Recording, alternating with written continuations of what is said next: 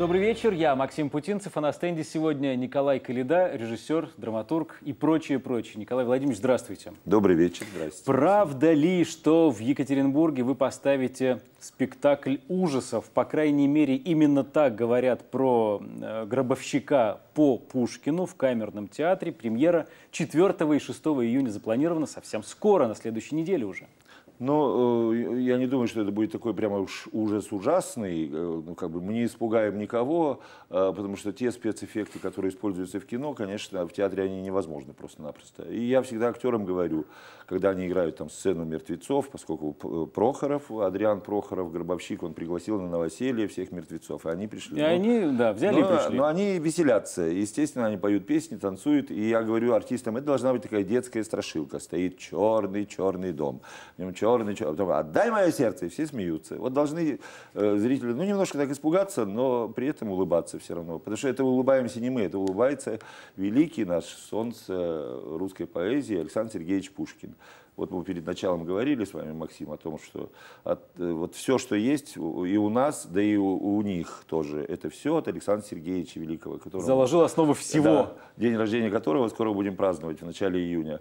Вот э, от него пошел и Эдгар По, его страшные рассказы, от него пошел и Гоголь тот же самый, который украл у Пушкина два сюжета. Ну, он подарил ему, собственно То говоря. есть Гоголь был не первым, кто ужастики писал? Э, Хоррор, нет, как бы нет, сейчас вот, сказали. Все-таки Пушкин был первым. Я думаю, что шутя, любя нарочно, Э, Пушкин сел и написал эти несколько страничек гробовщика и очень смеялся, потому что там во всем видится его улыбка такая. Ему это все весело, и он не, не, не пытается никого испугать, а просто посмеяться. Смотрите, как весело и смешно. Страшный сон. Как говорила моя мама, куда ночь, туда и сон.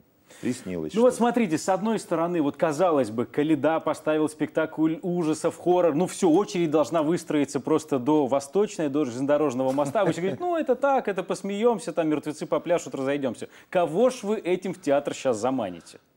Заманим мыслью, а мысль очень важная. Я думаю, что она должна и у вас тут, в вашей студии прозвучать. Давайте. А мысль такая. В гробу карманов нет. Вот какая мысль. Свежая. Да, я думаю, э, она не очень свежая, наверное, достаточно банальная, но все-таки ее но ее часто надо, забывают. Вспоминать ее надо каждый божий день. И, э, Жизнь прожить так, да, чтобы... Так, чтобы тебя вспоминали хорошо, потому что ну, не, не заберешь ничего на тот свет. Ну, собственно, я об этом и хотел спросить. Почему гробовщик? Вот, вот, вот именно поэтому. Потому, потому что, что это незатейливая мысль, она должна мне быть хочется ее сказать людям. Да, я всегда говорю своим студентам, когда пишете что-то, что сказать хочу, что-то я хочу сказать, тогда, тогда и все получится. А если просто так взять и поставить э, спектакль и получить небольшой гонорар, ну, знаете ли, это все так. Пьесу, насколько я понимаю, написали э, ваши ученики. Да, мои ученики из театральной школы. Светлана Гурова и Михаил Батурин. Михаил Батурин бывший журналист, а Света Гурова работает риэлтором. Ну, у них как бы совсем... Это первое их появление. Творческий тандем. Э, да, на сцене. И они дико волнуются, они даже не ходят на репетиции. Боятся страшно. Ну, боятся провала. А я не боюсь, потому что у меня плохо не бывает. Э, пьеса была написана специально под событие? Да. Э, Ирина Викторовна Евдокимова, директор театра, камерного театра, она решила сделать такой проект вместе с Касимовым, э, Дмитрием, главным режиссером. Они решили сделать такой проект под названием «Повести Белкина на сцене». А, ну вот, собственно говоря... Ну, был... собственно, одна из повестей. Ну да, станционный смотритель у них вышел, сейчас еще э, гробовщик, потом будет барышня-крестьянка, ну все, что, все, все будет сделано. Я думаю, не без участия э, моих учеников-драматургов. Я думаю, что они к этому приложат руку. Тоже. Николай Владимирович, давайте шажок в сторону сделаем. Э, как, с вашей точки зрения, правильно работать э, с текстами классиков? Уж, уж вы-то про это знаете все. И, и Шекспир, и Грибоедов, и Гоголь, это можно продолжать еще до бесконечности. Ну как? А вот сейчас Пушкин. Пушкин. Не церемонится. Потому что они там сидят на Это ж наше все, вы только что сказали про то, что да, он заложил основу всей нашей жизни. Понимаете, э, как бы это сказать, столько раз уже мы видели, довидели на сцене и Пушкина переиначенного, как угодно, и Гоголя, и Чехова, и кого угодно, поэтому они там сидят на облачке, э, щелкают семечки, смотрят на нас, смеются, им весело. Понимаете, от них не убудет. Им это все смешно. Если там кто-то говорит, о, в гробу переворачивается, да прям, фу, да делайте, что хотите, потому что есть само произведение, а что ты, что там, кто там фантазирует, кто входит в этот дом, какие там кнопки нажимает, но это же не имеет никакого значения. Главное, нет, очень важно, что все-таки э, у этого спектакля, который я делаю сейчас, Гробовщика, у Гробовщика, у него там ограничение плюс 12. То есть придут школьники, которые, как мы знаем, что уж тут греха таить, не сильно любят читать. Ну, хотя бы посмотрят, скажут, о, ничего, дай-ка я прочитаю вот хотя бы этим заинтересовать, хотя бы заставить человека заглянуть на страницу. Но у нас же обязательно найдется возмущенная общественность или недоумевающее чиновничество, которое скажет, это ж как, на святыню руку подняли, это какая-то не та интерпретация, как? а должна быть та интерпретация. Нет, да, вы что творите? Они, они скажут, это как, в гробу карманы есть, они скажут.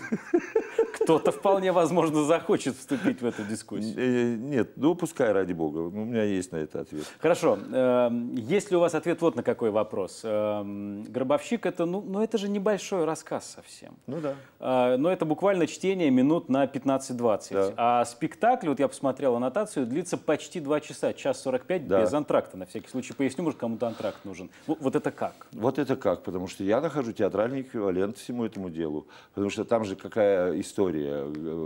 Адриан Прохоров переезжает в новый дом, новоселье, там живут немцы, он к ним ходит в гости, туда-сюда, взаимоотношения. О, это же страшно есть интересно. где развернуться. Конечно, он пришел к немцам, а те ему сказали, пошел отсюда, Руси Шишвай, ты гробовщик. Он рассердился, пришел домой, говорит, да я мертвецов позову всех на новоселье. А они и пришли, взяли ночью. Вот и все. А потом оказалось, что это сон. А, это называется спойлер, я все рассказал.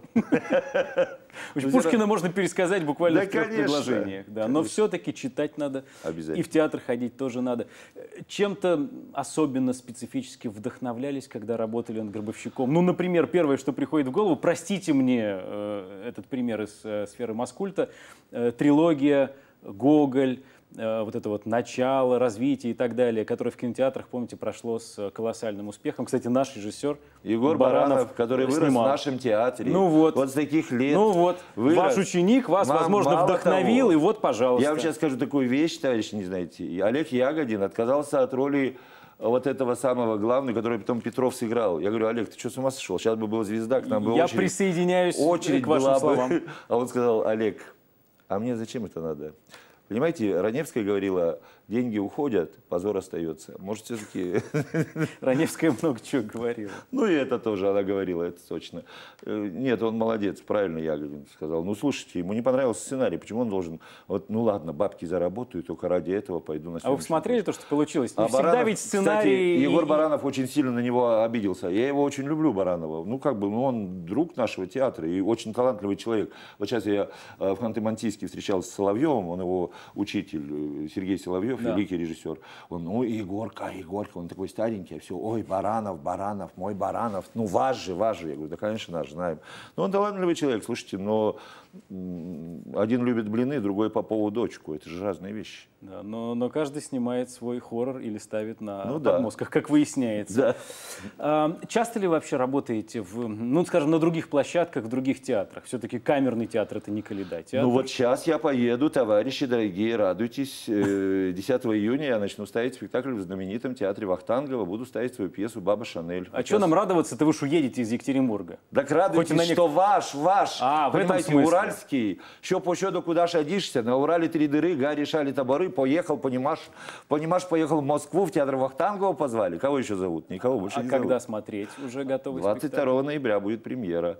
А, ну вот, сейчас э, буду репетировать. Э, там а, знаменитые артистки, такие старые, народные, Баби Шанель.